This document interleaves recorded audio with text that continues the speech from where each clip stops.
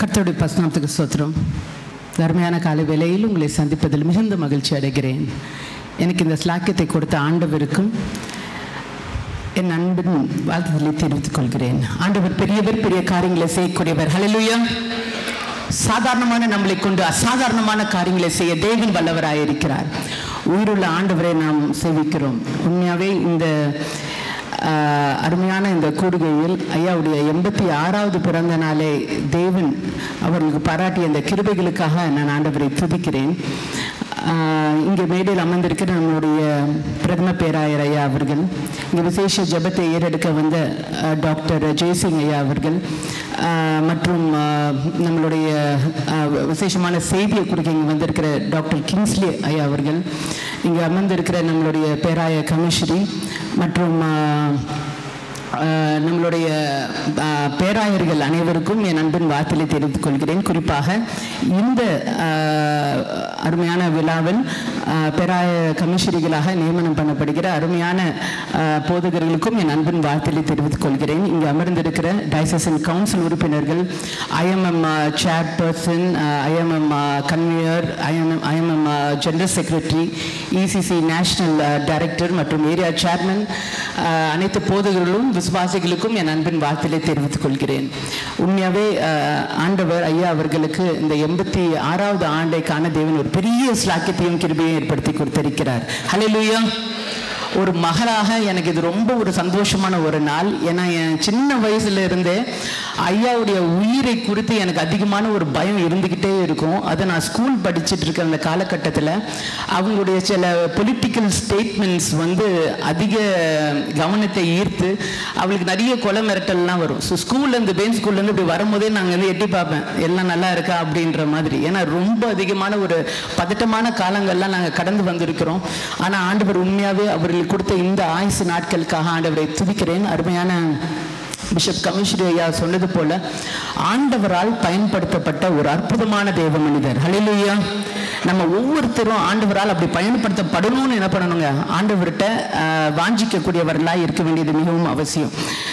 என் மனதில் ஆண்டவர் எனக்கு கொடுத்த வசனம் தான் ஏசையா நாற்பத்தி ஆறாம் அதிகாரம் நாலாவது வசனம். உங்கள் முதிர் வயது வரைக்கும் நான் அப்படி செய்வேன்.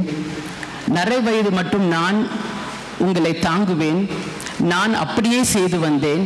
இனிமேலும் நான் ஏந்துவேன் நான் சுமப்பேன் தப்புவிப்பேன். ஹalleluya இந்த அருமையான வசனம் நீங்கள் ஆக்சுவலாக நல்லா யோசித்து பார்த்தீங்கன்னா ஆண்டவர் வந்து மனிதர்களாகிய நம்மளுக்கு நிறைய பருவங்கள் இருக்குது இல்லைங்களா? நம்ம ஒவ்வொரு பருவத்தை தாண்டி வருகிறோம். குழந்தை பருவமாக இருக்கட்டும் வாலிப பருவமாக இருக்கட்டும். ஆனால் ஆண்டவர் பாருங்கள் ஒவ்வொரு ஒவ்வொரு பருவத்திலும் நம்ம கூட இருக்கிறேன் அப்படின்னு என்ன பண்ணியிருக்காரு? ஆண்டவர் வாக்கு கொடுத்திருக்கிறார். அதாவது நம்மளுடைய முடி இருக்கிற போது மட்டும் இல்லை நம்ம நிறைய முதலில் ஆண்டவர் என்ன பண்ணுவாரா? நம்ம கூட இருப்பேன் ஆண்டவர் வாக்கு கொடுத்திருக்கிறார். ஆண்டவர் வாக்கு மாறாதகிறாராக இருக்கிறார். இந்த ஏசாயா நாற்பத்தி ஆறாவது அதிகாரத்தை நம்ம பார்க்கும்போது ரொம்ப ஒரு ஆச்சரியமான ஒரு காரியம் என்னன்னா இது ஏசாயா தீர்க்கதரிசியால் உரைக்கப்பட்ட ஒரு தீர்க்க தரிசன அதிகாரமாக இருக்கிறது. இந்த சூழலை எப்படி இருந்ததுன்னா இன்னும் யூதர்கள் பாபிலோனியல்ல சிறை எடுப்பு அந்த சூழ்நிலையில தான் ஆண்டவர் என்ன சொல்றாருன்னா அந்த சிறை எடுப்புலேருந்து என்ன பண்ண போறவங்களை மீட்க போகிறேன். அது மீட்க போகிறது மட்டும் இல்ல this particular chapter talks about the fall of Babylon and the rise of king Cyrus மாவீரர் சைரஸ் எழும்ப போகிறார். பாபிலோன் வீழ்ச்சி அடைய போகிறது. ஆனாலும் இந்த யூதர்களை வந்து கண்டிப்பாக ஆண்டவர் அந்த சிறை எடுப்பிலிருந்து நான் மீட்பேன். இனிமேலும் நான் ஏந்துவேன் சுமைப்பேன் தாங்குவேன்னு ஒரு தீர்க்க தரிசனமாய் உரைக்கப்பட்ட ஒரு அதிகாரம் தான் ஏசையா நாற்பத்தி ஆறாவது அதிகாரம். நான் ஏற்கனவே சொன்னது போல நம்ம எல்லாரும் பல பருவங்களை தாண்டி வருகிறோம். ஆனால் நேற்று நின்றும் என்றும் மாறாதவராக இருக்கிறவர் நம்மளுடைய ஆண்டவர். நம்மளுடைய பருவங்கள்லாம் மாறும். இல்லைங்களா? நம்ம பிறப்போம் இறப்போம் இது இயற்கையில நடக்கக்கூடிய காரியம். ஆனால் ஆண்டவர் மட்டும்தான் அவர் சர்வ வல்லவராய் இருக்கிறார் சர்வ ஞானியாக இருக்கிறார் சர்வத்தையும் அணைந்தவராய் இருக்கிறார். காலங்களும் சமயங்களும் அவருடைய கரங்களில் இருக்கிறது. ஆண்டவர் எண்பத்தி ஆறாவது வயதே நம்மளுடைய தந்தை பேராயர் ஐயாவை காண கிருபை பாராட்டினான் அதே ஆண்டவர் உங்களுக்கும் எனக்கும் தய பாராட்ட கிருபை உள்ளவராக இருக்கிறார். ஆண்டவருடைய அந்த அற்புதங்களை உணர்ந்தவர்களாக நாம் இங்கு அமர்ந்திருந்து நம்ம ஐயாவுடைய அந்த இந்த பிறந்த நாளுக்காக ஆண்டவரை நம்ம ஸ்தோத்திரிக்கும் போது ஆண்டவர் கண்டிப்பாக இந்த காரியங்களை நம்ம வாழ்க்கையிலும் வாய்க்க செய்வார் என்பதை நம்ம என்ன பண்ணணுங்க? உறுதியா விசுவாசிக்கணும். இந்த அதிகாரத்திலேயே ஏன் ஆண்டவர் உங்களை வந்து அந்த முதிர் வயது வரைக்கும் உங்களை ஏன் சுமப்பேன் அப்படின்னு ஆண்டவர் சொல்றாருன்றத இந்த அதிகாரத்திலே நம்மளால பார்க்க முடியுது. நிறைய நேரத்தில் நீங்க பாருங்க அந்த வசனத்திலேயே திரும்ப திரும்ப வருவது என்னன்னா நான் அப்படி செய்து வந்தேன். நான் தாங்குவேன். நான் உங்களை என்ன பண்ணுவேன்? சுமப்பேன். நான் ஏந்துவேன் இப்படி ஒவ்வொரு தடவையும் திரும்ப திரும்ப வரக்கூடிய அந்த வார்த்தை நான் நான் என்ற வார்த்தை மட்டும் அந்த ஒரு வசனத்துல ஐந்து முறை சொல்லப்படுகிறது. அப்போ ஆண்டவர் வந்து உங்களை ஏந்துறது சுமக்கிறதுல உங்களுக்காக கிடையாது. ஆண்டவர் ஆண்டவராய் இருக்கிறதுனால அவர் அப்படியே செய்கிறார். Hallelujah because God is still God and he seated on the throne we worship an awesome God அற்புதமும் அதிசயமுடைய ஆண்டவரை நாம் சேவிக்கிறோம். இம்மட்டும் நடத்தின ஆண்டவர் இனிமேலும் நடத்த வல்லவராயிருக்கிறார் இருக்கிறார் அதே ஏசாயால ஒன்பது பத்தாம் வசனத்துல நம்ம இப்படி பார்க்கிறோம். அதாவது முந்தி பூர்வ காலத்தில் நடந்தவைகளை நினையுங்கள். நானே தேவன் வேறு ஒருவரும் இல்லை. நானே தேவன் எனக்கு சமானம் இல்லைன்னு ஆண்டவர் சொல்லுகிறார். அதாவது ஆண்டவர் தானே தேவன் என்று அவருடைய அந்த இறையாண்மையை இங்க என்ன பண்றாருங்க? உறுதிப்படுத்துறதை நம்ம பார்க்க முடிகிறது. அப்ப ஆண்டவர் வந்து முந்தி அந்த பூர்வ காலத்தில் உங்களை நடத்தினோம் பார்த்தீங்களா அதே மாதிரி நான் என்ன பண்ண போறேன்? இனிமேலும் நடத்துவேன். காரணம் என்னன்னா ஆண்டவருடைய நினைவுல நீங்களும் நானும் என்ன பண்றோங்க? இருக்கிறோம். ஹலெலுயா ஆண்டவர் செய்த காரியங்களை நினைக்கக்கூடியவர்களா இன்னைக்கு நீங்களும் நானும் மாறினது ரொம்ப முக்கியம். இம்மிட்டும் நடத்தின ஆண்டவர் இனிமேலும் நடத்துவார். இங்க வந்து உட்கார்ந்துருக்கிறவங்க எல்லாருமே ஒரு ஒரு சூழ்நிலையில வந்திருக்கலாம். உங்க சிட் பார்க்கும் பார்க்கும்போது நல்லா சிரிச்சுட்டு உற்சாகமா இருக்கிற மாதிரி தான் இருக்கு. மனசுக்குள்ள என்ன போராட்டத்தை போராடி கொண்டு இருக்கிறீங்களோ இது மனுஷங்களுக்கு என்ன பண்ணாதீங்க? தெரியாது. ஆனா ஆண்டவர் உங்களுக்கு கொடுக்கிற வாக்கு தத்துவம் என்னன்னா இம்மட்டும் நான் என்ன பண்ணிருக்கேன்? உன்னை ஏந்திருக்கிறேன் சுமந்திருக்கிறேன் உன்னை தப்பு வைத்திருக்கேன் இனிமேலும் நான் அடுத்த வல்லவனாக இருக்கிறேன். ஆண்டவர்கிட்ட அந்த காரியங்களை நம்ம நினைவுபடுத்தக்கூடியவர்களா இருக்கணும். ஒரு நாளும் never never never underestimate what your God can do for you ஆண்டவரை ஒரு நாளும் என்ன பண்ணக்கூடாதுங்க? குறைவா மதிப்பிடாதீங்க. ஆண்டவர் உங்களை அற்புதமாய் நடத்தக்கூடியவராக இருக்கிறார்.